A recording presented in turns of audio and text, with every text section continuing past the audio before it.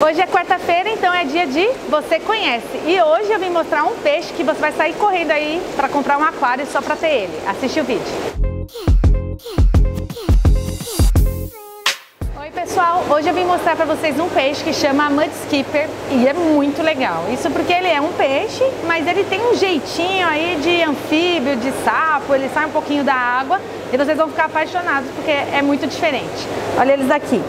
Esse aqui é uma skipper que a gente chama de barred, mas você deve encontrar outros também, clown, barbaros, vários outros tipos de mud skippers são comercializados no nosso mercado de aquarismo. Eles ocorrem numa região super ampla, né? Ali da África, Ásia e Oceania. Eles é, vivem em lugares que a temperatura é de 24 a 30 graus Celsius e aqui eles estão bem pequenininhos, tá pessoal? Eles vão chegar até uns 25 centímetros. Então é um animal que fica mais grandinho, a gente já tem que ter essa preocupação porque eles crescem.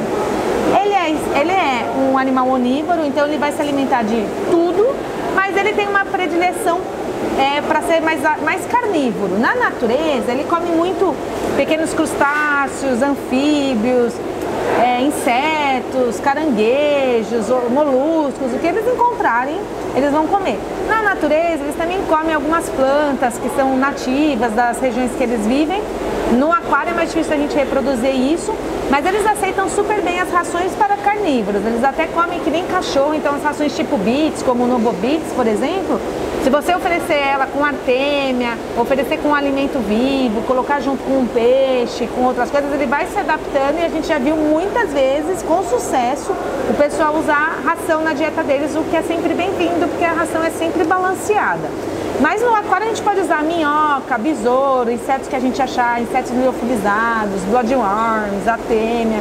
Mas tentem sempre a ração, porque sempre é um aliado pra gente. Camarões, lula, coisas que a gente também compra no mercado de consumo humano, a gente também pode usar. Mas ele gosta um pouco do alimento vivo. Muita gente vai colocar alimento vivo para ele, peixe vivo no aquário. E é até interessante, eles vão acabar predando se você quer ver esse comportamento. Mas a gente pode ter outros, é, outros peixes num aquário com ele, desde que sejam peixes que aguentem água salobra, porque é um ambiente que a gente vai criar eles, mas que sejam maiores, por exemplo, molinésias maiores, que eles não consigam predar. Que a gente até pode deixar eles vivendo harmonicamente, né?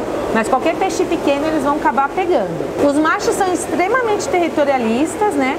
Então, num aquário menor, você vai ter problema se você tiver mais de um macho, então é ideal a gente ter um só e só ter mais de um indivíduo, podendo até ter um grupo com cinco ou seis indivíduos, se você tiver um aquário bem grande, bem ornamentado, para que eles não briguem. Ele, como vocês podem ver, tem essa capacidade de andar na parte seca e isso é obrigatório, tá? Quando você pensar em montar um aquário para um mudskipper, você tem que fazer uma parte com água e uma parte seca, porque ele vai sair mas a gente tem que manter o ambiente úmido, então também não adianta fazer um aquário muito grande com uma parte seca muito grande, porque a gente tem que garantir umidade, o ambiente tem que estar úmido, então de repente usar tampa, não deixar esse aquário secar muito, mesmo que você tenha pouca água. É, a tampa também é importante, pessoal, porque eles podem fugir, e uma vez que eles saírem desse ambiente controlado, onde tem umidade, tem água e tem controle de temperatura, a gente pode até perder ele, porque ele vai acabar secando, né? Como eu falei, manter ele úmido em área com água é, é super importante.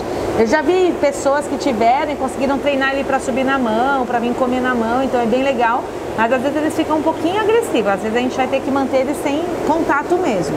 Para montar o aquário, a gente vai é, fazer uma área seca, a gente pode usar troncos, rochas, usar essa parte de areia mesmo, a gente tem que garantir qualidade de água, embora eles sejam muito resistentes, a gente tem que cuidar de amônia e todos os parâmetros, mas principalmente a temperatura e a umidade é o que vai ser mais importante. Pessoal, gostaram do Mud Skipper? Eu tenho certeza que vocês virem um, aqui eles estão pequenininho ainda, mas eles maiores ficam bem coloridos e eles são muito interessantes de observar, a gente fica apaixonado. Se você ver, não vai conseguir sair da loja sem um aquário novo para colocar ele. Então é isso, pessoal. Se tiver comentário, se você tiver um Mud Skipper, deixa aqui uma foto, manda pra gente, pra gente compartilhar. Continue seguindo e até a próxima.